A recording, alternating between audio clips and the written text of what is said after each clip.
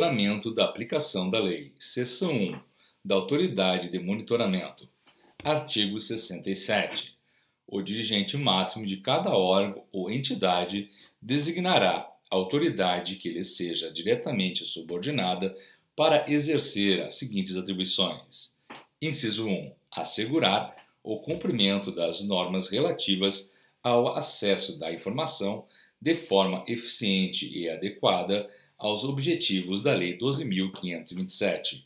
Inciso 2. Avaliar e monitorar a implementação do disposto neste decreto e apresentar ao dirigente máximo de cada órgão ou entidade relatório anual sobre o seu cumprimento, encaminhando à Controladoria Geral da União. Inciso 3. Recomendar medidas para aperfeiçoar as normas e procedimentos necessários à implementação deste decreto. Inciso 4. Orientar as unidades no que se refere ao cumprimento deste decreto. Inciso 5. Manifestar-se sobre reclamação apresentada contra omissão de autoridade competente, observado o disposto no artigo 22. Seção 2 das competências relativas ao monitoramento. Artigo 68. Compete à Controladoria Geral da União, observadas competências dos demais órgãos e entidades e as previsões específicas deste decreto.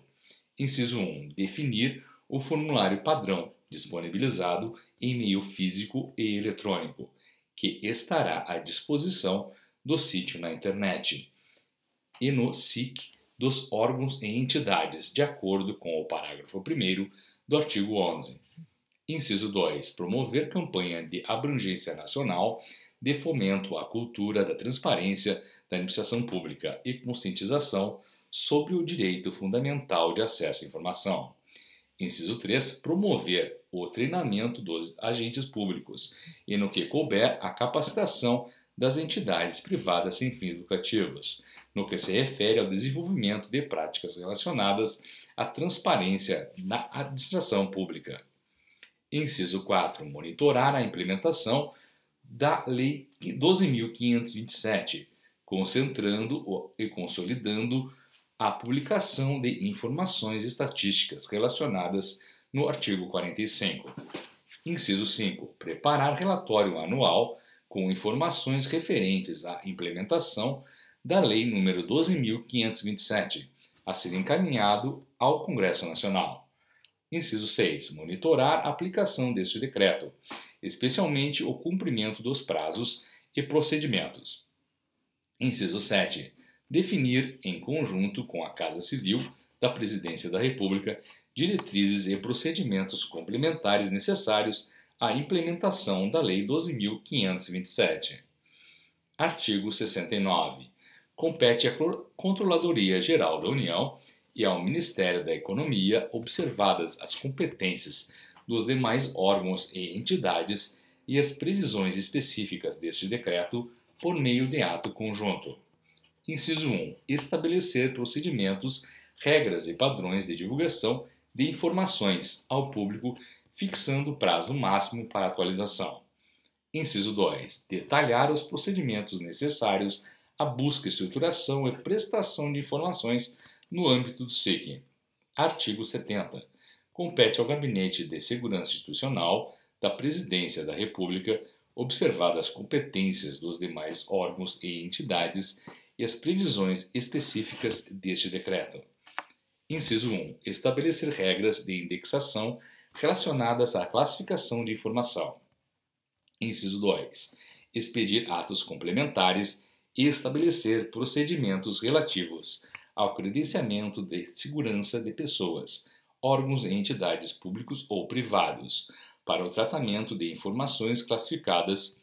Inciso 3. Promover, por meio do Núcleo de Credenciamento de Segurança, o credenciamento de segurança de pessoas, órgãos e entidades públicos ou privados, para o tratamento de informações classificadas. Capítulo 11. Das disposições transitórias e finais. Artigo 71. Os órgãos e entidades adequarão suas políticas de gestão de informação, promovendo os ajustes necessários aos processos de registro, processamento, trâmite e arquivamento de documentos e informações. Artigo 72. Os órgãos e entidades deverão reavaliar as informações classificadas como grau ultrasecreto e secreto no prazo máximo de dois anos, contado do termo inicial de vigência da Lei 12.527. Parágrafo 1. A restrição de acesso a informações em razão da reavaliação prevista no caput deverá observar os prazos e condições previstos neste decreto. Parágrafo 2. Enquanto não transcorrido o prazo de reavaliação previsto no caput, deverá será mantida a classificação da informação observados os prazos e disposições da legislação precedente. Parágrafo 3 As informações classificadas no grau ultrasecreto e secreto não reavaliadas no prazo previsto no caput serão consideradas automaticamente desclassificadas. Artigo 73. A publicação anual de que trata o artigo 45 terá início em junho de 2013. Artigo 74. O prazo de informação classificada resultante de tratados, acordos ou atos internacionais atenderá às normas e recomendações desses instrumentos. Artigo 75. Aplica-se subsidiariamente a Lei 9.784 aos procedimentos previstos neste decreto. Artigo 76. Este decreto entra em vigor em 16 de maio de 2012.